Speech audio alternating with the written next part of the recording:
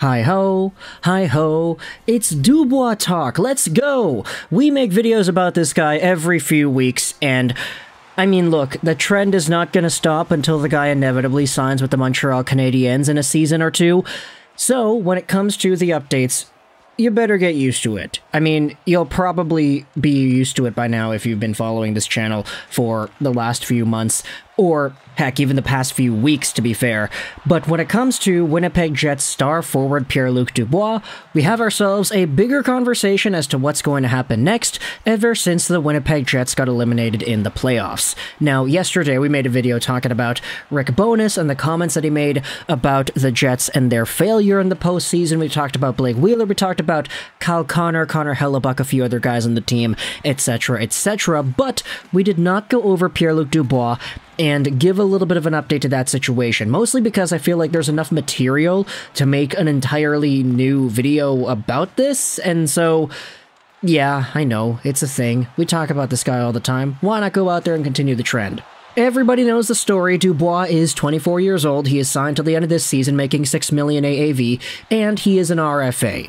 So, the Winnipeg Jets are the only team that can sign him to a contract without considering the offer sheet, which is probably not going to happen, but it is a possibility. And Dubois last season had 63 points in 73 games played. He also was under a point per game for Winnipeg in the postseason.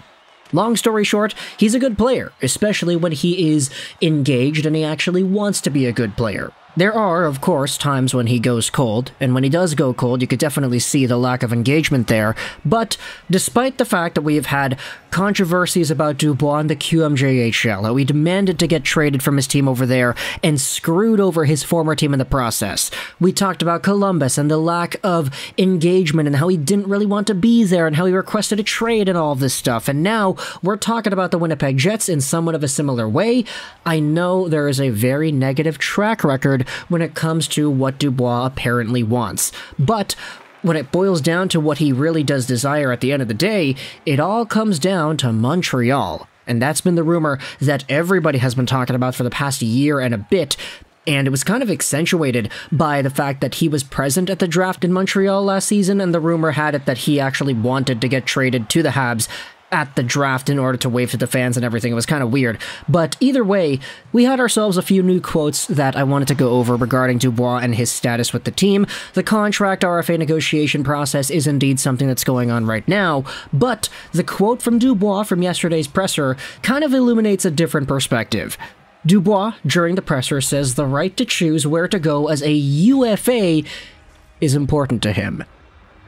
And of course, right now he is not a UFA, he is an RFA. In order to become a UFA, he would need to resign a contract with the Jets at one year, meaning that that would take him to unrestricted free agency status for next season, and he pretty much essentially admitted, yeah, I really do value my right to choose, and the UFA pool has an opportunity for me to go wherever it is that I want.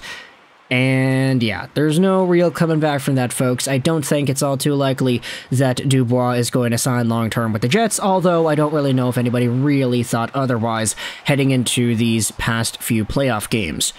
Either way, though, it's interesting to have it in writing that Dubois did indeed say that. He does value his right to choose. And of course, with all the rumors popping over the past few years that he wants to be a Hab and only a Hab pretty much, you could kind of see where this train of thought is heading down. We then also had ourselves another comment from Marc Dumont saying it's genuinely shocking that Dubois wants out of the Jets locker room. Just shocking, I tell ya. And the quote tweet that Dumont has is the Blake Wheeler conversation about Rick Bowness and the comments that he made. Just to reiterate, we did talk about this yesterday, but Blake Wheeler said about the Bowness comments I thought Bones had an opportunity to address us as a team. He could have been honest with us and handled it behind closed doors. I didn't like how he handled himself after the game. Now, Dumont, of course, is being kind of tongue in cheek here. He's kind of saying, okay, well, because the Jets locker room is in such a dysfunctional state where the coach calls out the players in that kind of way with that sort of magnitude, yeah, it's genuinely shocking that Dubois wants out of that locker room. He's joking. In almost every industry, wanting to find a healthy workplace that will help you grow as an individual and achieve your goals is seen as a good thing. In hockey, it's seen as some sort of a traitorous action. Silliness. So Dumont is pretty much arguing, saying that, hey, because the Jets locker room is kind of in shambles and because Rick Bowness has the audacity to go out there and call it out, it's kind of illuminating why Pierre-Luc Dubois would want to leave the Jets in the first place. Forget Montreal for a second, let's talk about Winnipeg. Is this really the environment that a guy like Pierre-Luc Dubois, who is 24 years old right now, would develop and grow and prosper within the next few years if he decided to sign long term? Is this the right decision for him as a hockey player and as a person? Who really knows? You even had Steve Dangle go out there and talk about this Marc Dumont tweet. I haven't loved the way Dubois has forced the Jets' hand, but this isn't a bad point.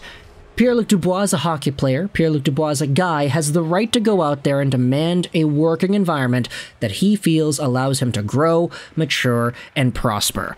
But with the Winnipeg Jets being in the way they are right now, it's difficult to say that is the team to do that. And so when it comes to his right to choose, it definitely does make sense. If he wanted to go out there and choose earlier, he could sign an offer sheet, but I don't know, with the offer sheet fiasco with Kotkaniemi and Aho and everything from the past few years, I don't really think that's actually going to manifest once more.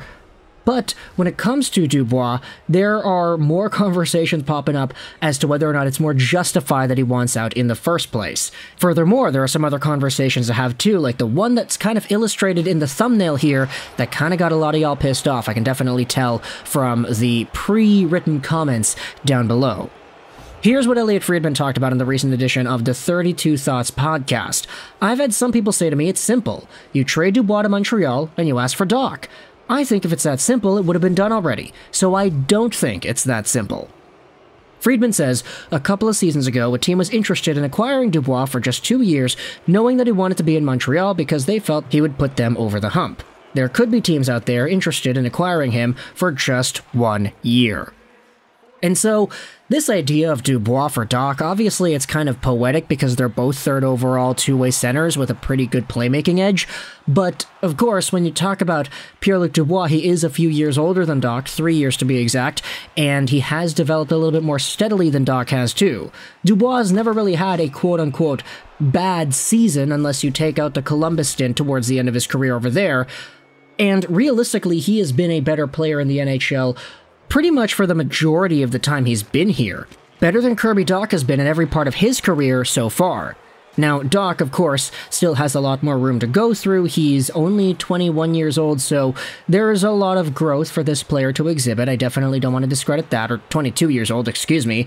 But when it comes to the idea of trading away Dach for Dubois, it is an interesting one that I think kind of bodes well when you think about it on paper, but realistically speaking, trying to evaluate what these players are and what they could do for an organization, it's definitely not the easiest move to make, especially considering you would have to be giving up on a guy like Kirby Dach. This is a team in Montreal that already shelled out significant assets in Romanov and the pick from Romanov in order to get Dach in the first place, so it doesn't really feel like the most necessary type of move to say, alright, screw you man, we're going with Dubois instead especially when you consider the fact that Dubois is probably going to come to the Habs in free agency anyway, so there's no reason to go out there and bite off more than you can chew and lose out on more than you need to in this Dubois situation. So, sounds in the comment section all your opinions about Dubois, the comments that he made regarding his UFA status and why that's important to him. Let me know your opinions about what Elliotte Friedman talked about when it comes to a Dach and Dubois sort of trade. Do you think that's an interesting avenue to explore? Do you think it's one actually worth going down? Sounds in the comment section below. I hope you enjoyed this video. 9 and bye.